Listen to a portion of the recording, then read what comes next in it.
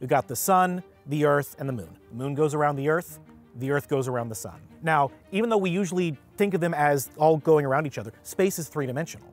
So that means that the path that the moon takes around the earth does not quite line up with the path that the earth takes around the sun. So earth goes around the sun like this, moon goes around the sun slightly tilted. That means that it's unusual for the moon and the earth and the sun to actually line up, but it does happen. And it can do one of two things.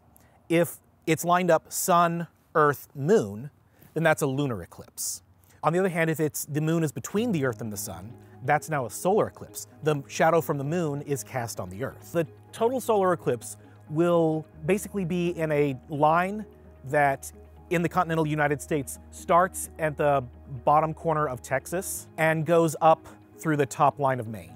Viewing wise, a total solar eclipse is qualitatively different than, than seeing even a large partial. Because even for a large partial, you can still see the sun. The sun is out, and you can't look directly at it because that will damage your eye. We have ways that you can view it. You can have those solar shades which block out the vast majority of the light, make it dim enough for you to see.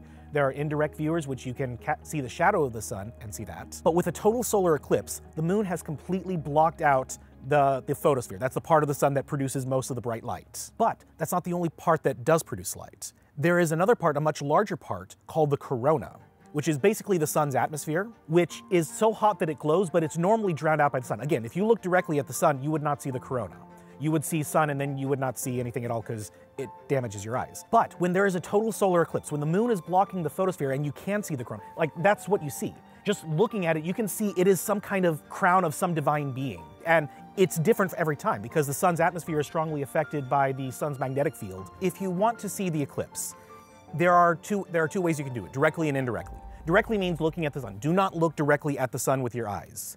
Instead, get something like this, a pair of eclipse glasses you put them over, and right now I can't see anything because the sun's not out and these block so much light that the sun is the only thing that you could see with them. There's a lot of bad advice on, oh, if you just use two, two pairs of sunglasses, no, don't.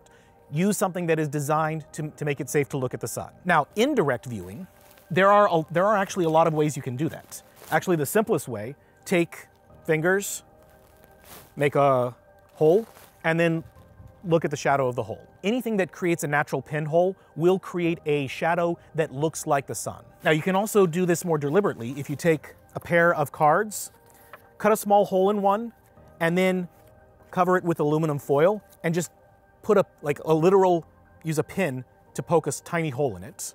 Then when the time comes, hold this one out so that the sun is shining down on it.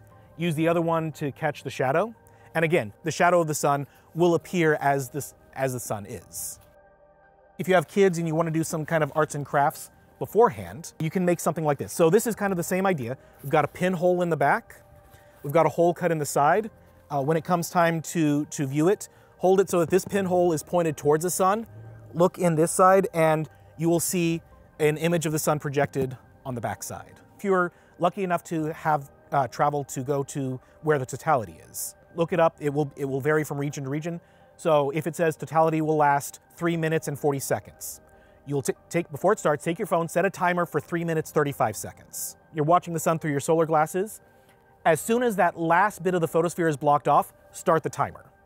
Take off your glasses, gaze in awe at the corona.